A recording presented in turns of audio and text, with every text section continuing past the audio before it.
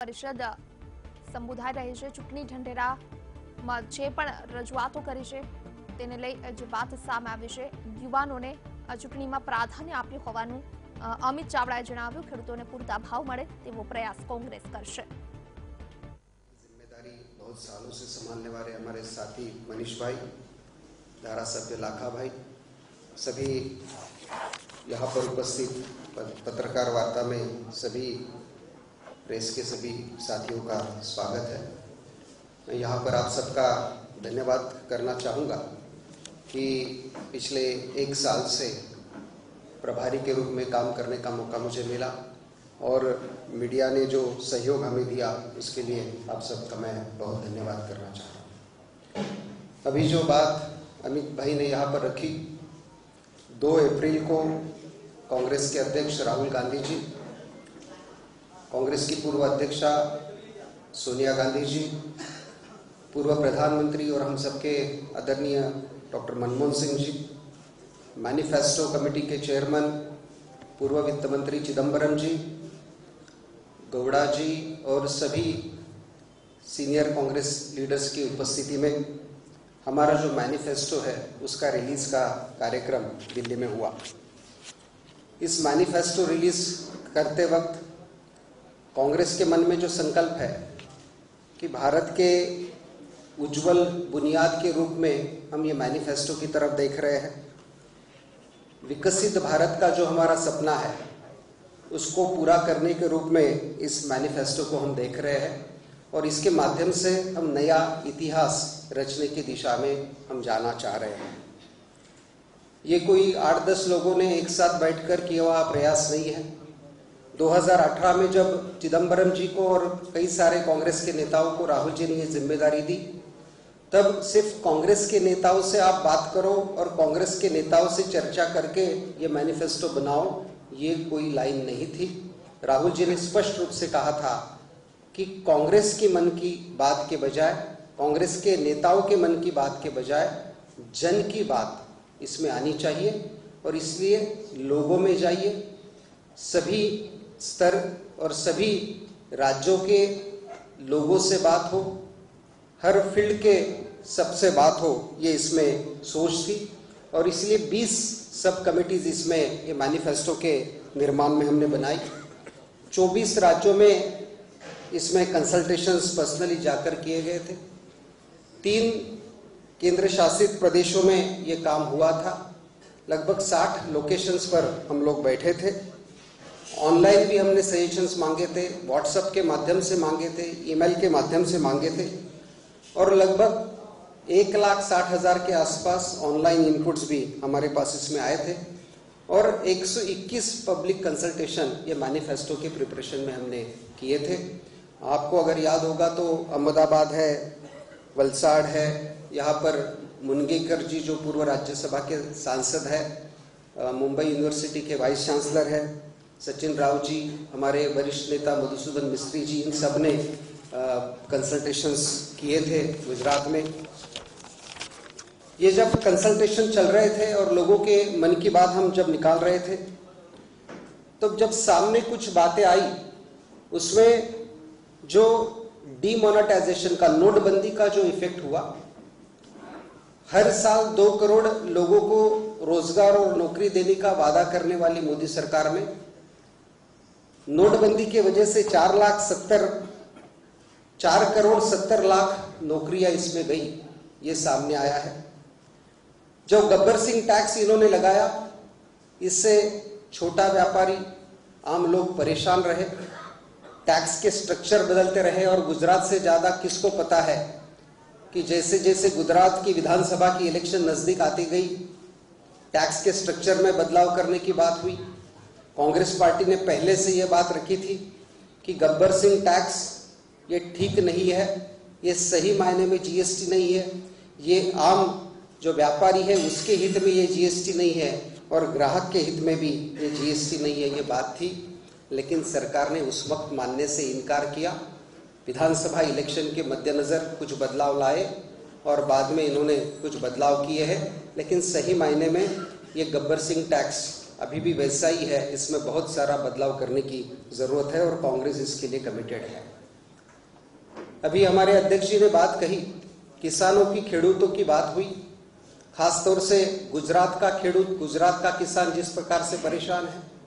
पिछले चार पाँच साल में देश में मोदी सरकार में और पिछले 22-23 साल में गुजरात में भारतीय जनता पार्टी की सरकार ने खेडूतों के ऊपर, किसानों के ऊपर जो न्याय देना चाहिए, वो न्याय दिया नहीं है। आज आप देखेंगे तो किसानों के ऊपर लगभग एक लाख चार हज़ार का कर्जा औसतन है हर किसान पर। और इसीलिए हम उसके दिशा में भी किसान को सही मायने में न्याय मिलना चाहिए, ये हमारी सोच है। जब महिलाओं को कंसल्टेशन में हमने बात की तो सुरक्षा के बारे में महिलाओं से बात आई। जो बढ़ती हुई कीमतें हैं, इसके बारे में बात आई है। और राहुल गांधी जी ने स्पष्ट रूप से मैनिफेस्टो कमेटी को और कांग्रेस के नेताओं को कहा था कि हम जुमलों के राजनीति में विश्वास नहीं रखते। हम जो कहेंगे, वो निभाना, ये हमारा एजेंडा है।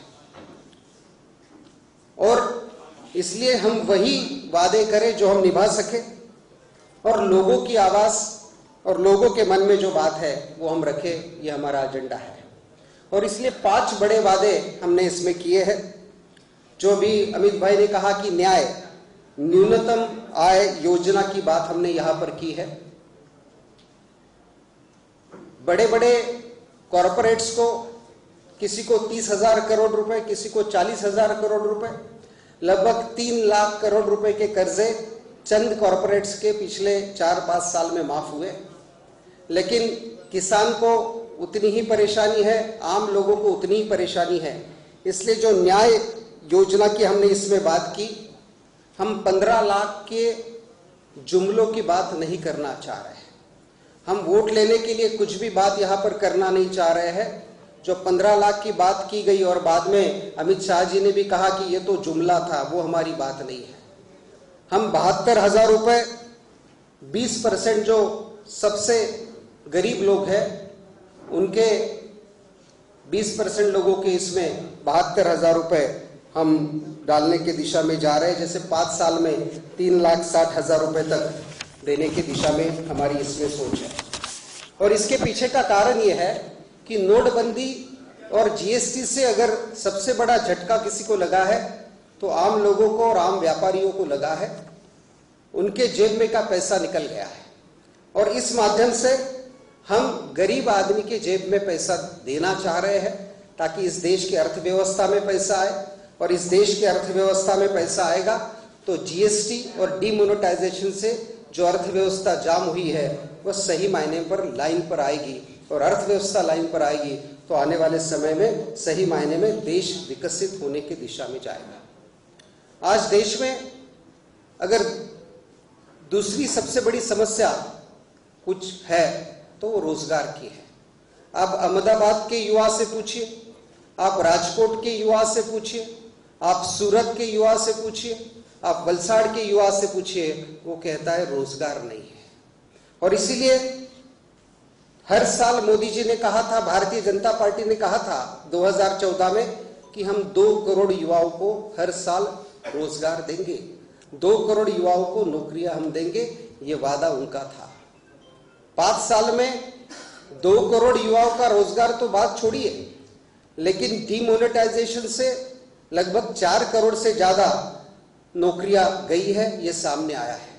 और इसलिए हमने तय किया है कि सरकार में आते ही एक साल में जो 24 लाख सरकारी पद खाली है, वो भरने के दिशा में हम मार्च 2020 की डेडलाइन रखेंगे और एक साल में वो भरने के दिशा में हमारा एजेंडा इसमें रहेगा। जो रोज़गार की बात है, राहुल जी ने और कांग्रेस पार्टी ने स्पष्ट कहा है कि तीन साल तक जो कोई युवा रोज़गार करना चाहेगा, उसको कोई भी परमिशन के लिए किसी भी सरकारी दफ्तर में परेशानी झेलनी नहीं पड़ेगी। सरकारी जो तंत्र होता है, जो परेशान करता है, वो नहीं होगा और उस दिशा में हम जाना चाह रहे हैं।